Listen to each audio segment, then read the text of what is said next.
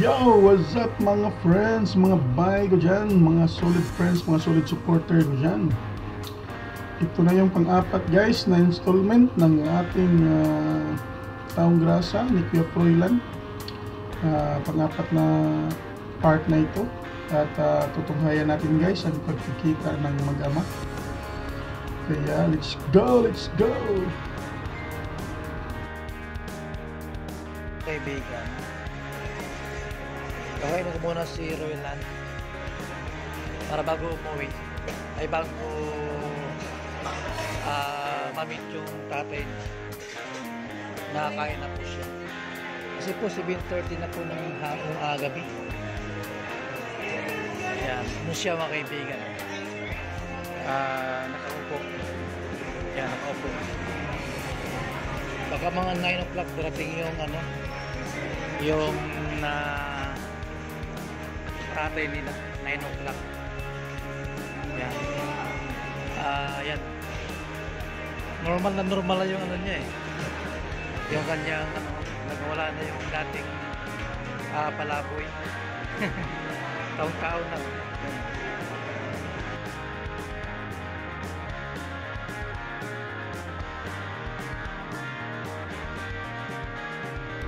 Nakita natin si Juan guys no, si Kuya Royla no, talagang as in normal na yung ano niya, pananamit niya, hindi na siya palaboy sa kalsada.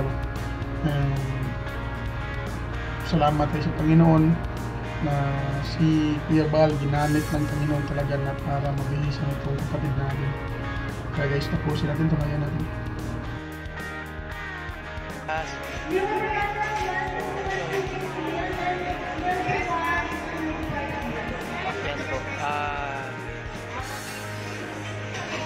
ay, nalaglag. Kuya, oh. Yan. Oops, nalaglag. So, kakain siya ngayon. Para busog. Bago magkita mo sa tatay. Ah, darating. Bukas, wala ka na sa diet bukas. Papaalam ka na. Babay diet na, no? Ah. ha? Ano? Pwede. Ilagan ko. Sige. Ito. Yan. Marami na yan. Yung pera. yan po. Oh.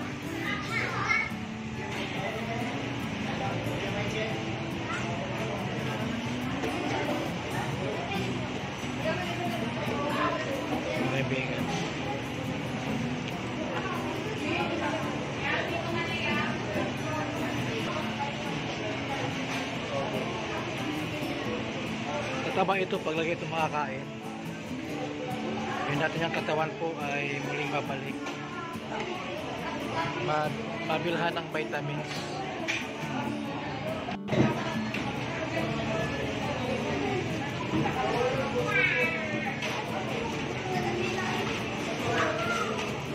Kuya oh, kanin pa.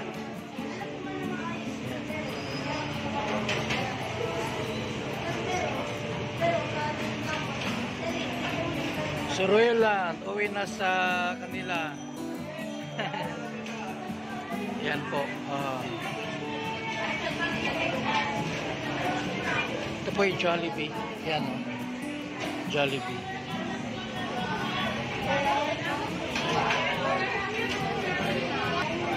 Kain po tayo. Hindi pa kumain, kumain muna.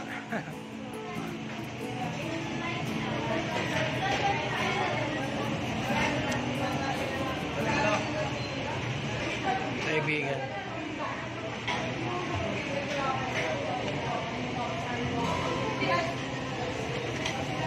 Magandang kumain si Roylan ha.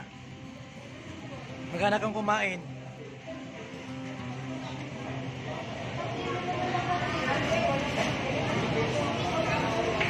Meron pala siyang wallet.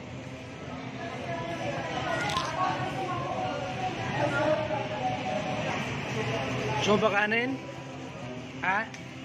So pa? Ha? Ayaw mo na? Ayaw niya na. Ah. Oh. Sa ubusin mo. Yan po mga kaibigan. Nagutom siya eh. Pero siya naglakbay ng mahabang ano, desierto. Ubos yung tatlong kanin.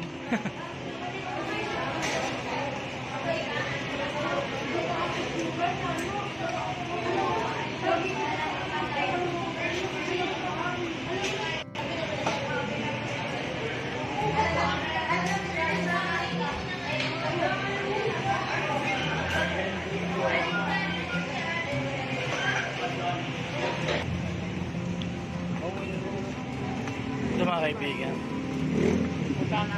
Ah, ah, kabalik kami sa estasyon at doon daw pupunta yung tatay nito. Doon kami maghihintay.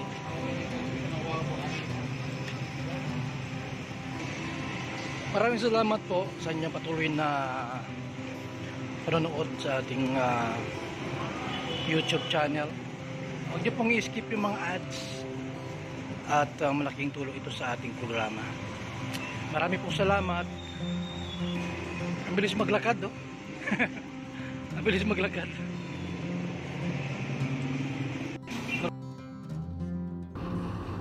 Okay guys, ah, dagdag natin yung isang video. Pag part 5 sana yun, pero idagdag ko na para talagang hindi na tayo ma ma kuwan ba, mabitin. So magkikita na sila talaga ng tatay niya.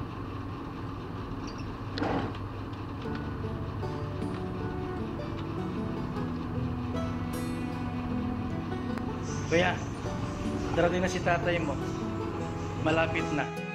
Ha? Ah, ano na kuya, oh? Ah, 10 uh, 10-4 na, oh. Nagtawag si Mang Rumi. Ah, malapit na po siyang darating. Oo. Dito po. Ito yung ah, papa ni ano Roylan. Roylan. Doon sa taas kuya. Nalibot ko na itong Bicol eh. Ah, nalibot mo na buong Bicol, hindi mo na sumpungan. Ito, ito kuya. oh. Yan oh. Tatay mo. Oh. Oh. Tuwan-tuwa siya oh. Mm. Yung mga kaibigan, nagkakita na yun. Oh. Matagal mo na hinahanap yan? Mm. Mga kaibigan.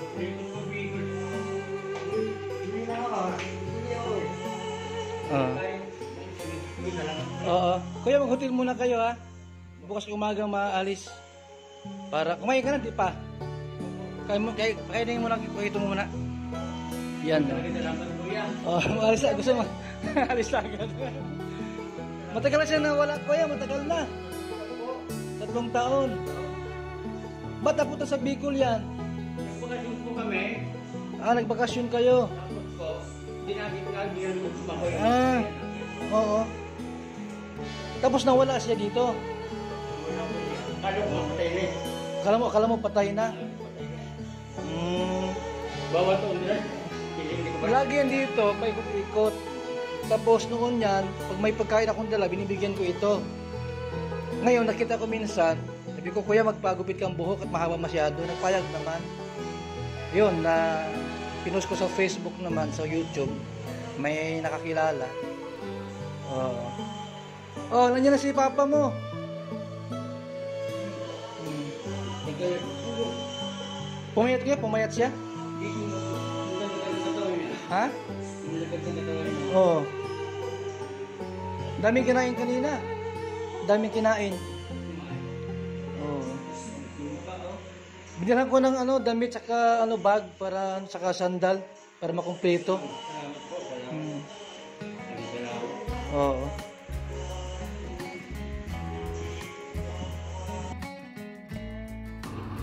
Grabe talaga yung ah, ang Panginoon talaga guys ang gumawa ng paraan para makabalik at magkikita itong dalawa yung magtatay sa pamagitan ni Kuya Bal. Ginamit si Kuya Bal para ah, makabalik sa kanyang tahanan itong si Kuya Froilan.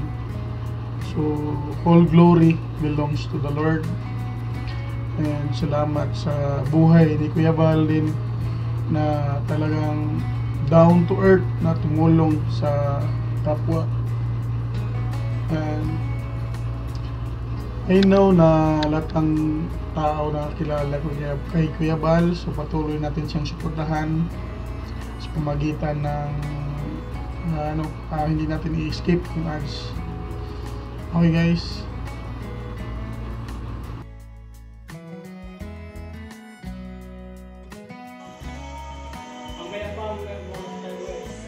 Mag ma-hotel muna kayo ngayon. Sa hotel. Tara, kain muna tayo. Ano, masaya ka na. Andiyan na si tatay mo. Ah.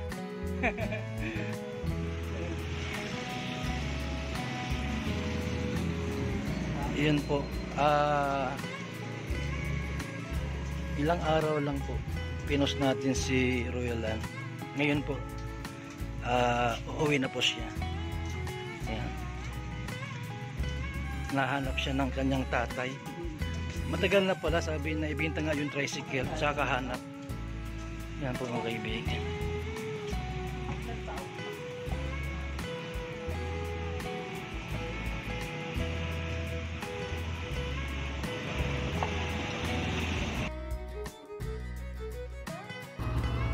Yun guys, ah, yun na, natunghayan natin na at ah, nalaman natin natin din na tatlong taon na palang hinahanap si Kuya Proilan ng kanyang magulang, ng kanyang tatay. So again again, ah, ulitin ko, ah, salamat tayo sa Panginoon sa ginamit si Kuya Bal para ang ating kaibigan, ang ating ah, kababayan ay makauwi at ah, maayos muling-muli ang kanyang buhay. So, salamat sa Panginoon at uh, guys, hanggang dito lang muna. At ah, abangan nyo. Ah, by God's grace, by God's faith ilang araw na lang din ang tinagal ko dito sa Saudi at ako'y uuwi na din sa bansang sinilangan ko sa Pilipinas sa Cebu. And um, shoutout sa inyong lahat dyan. Ah, sa lahat ng mga friends ko sa lahat ng mga ka-GC ko dyan shoutout sa inyong lahat.